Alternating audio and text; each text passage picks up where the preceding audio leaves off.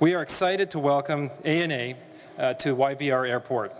We expect travelers from Japan to have a pleasant experience at YVR upon arrival.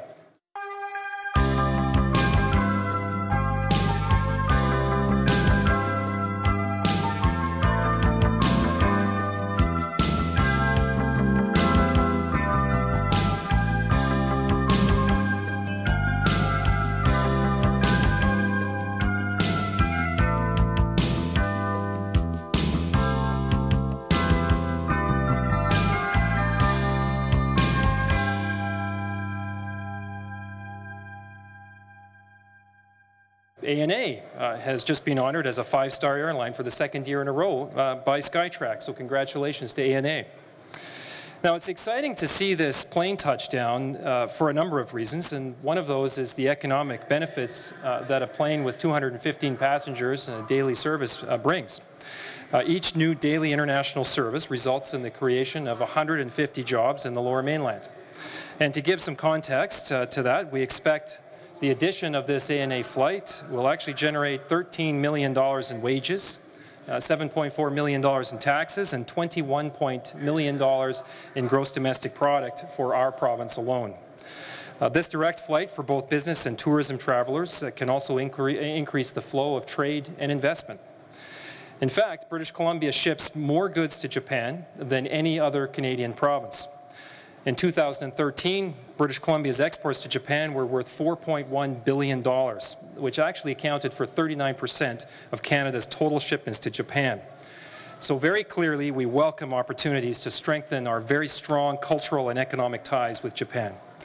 And we are uh, proud of the relationship that exists between British Columbia and Japan. Uh, it's a relationship that's been built through thousands of people who have chosen our province as a destination for business, education, and adventure. Uh, this new daily nonstop service between Tokyo and Vancouver will strengthen the connection between our cities and our countries.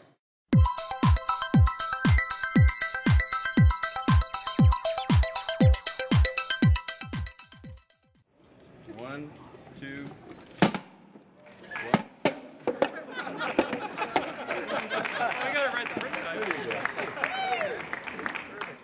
以前そのエアカナダ様とまあ共同運航で、え、やらせていただいたときは実質私どもはまあ客室乗務員があの2名まあ登場していて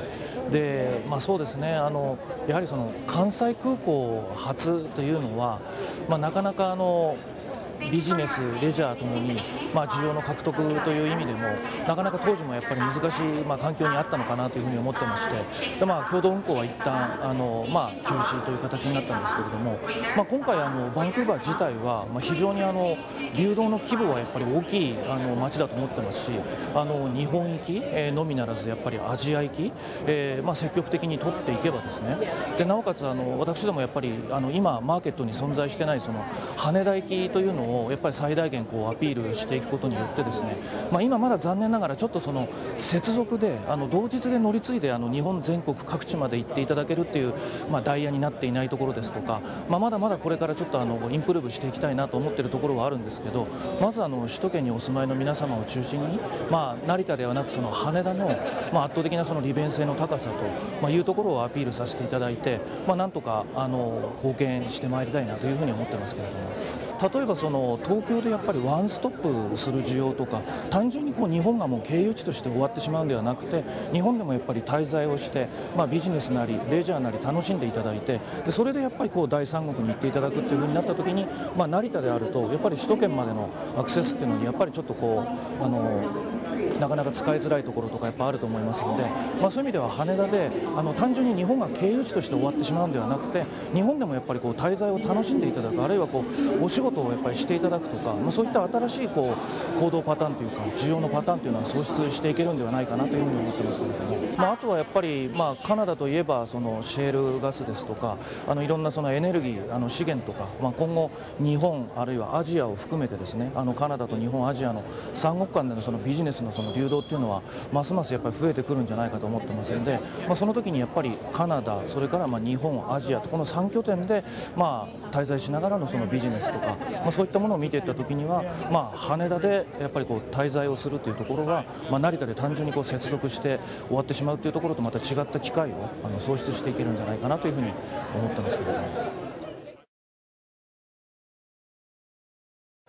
そうですね。今の時点ではまだやはりあの日本人のお客様の方がやはり圧倒的に多いかなと思ってました。ただ今日あのまあ我々就航書便あのチェックインカウンターでお客様あの列を拝見していて結構意外にあの外国人のお客様にもあのご利用をいただいているなというふうにも思いましたのでまあ今後あのやっぱ ANA というのは日本のマーケットに対してはまあそのやっぱり知名度もあのあるかなというふうに思ってるんですけれどもやはりあの外国人のお客様にも今後やっぱり積極的的にご利用いただくということで今は正直まあ日本人のお客様のご利用が7割ぐらいかなというふうにあの想定しておるところです、はい。まあ、スカイトラックス社のその5スターをですね、まあ、2年連続獲得させていただきましたと。でスカイトラックス社のその評価の基準は必ずしもそのハイクオリティなそのプロダクトというところにあの力点をまあ置いておらずですねやはりそのまあ空港客室とまあ一本こうつながったまあシームレスなその高品質なそのサービスソフトサービスというところにまあ非常に重きを置かれての評価だというふうに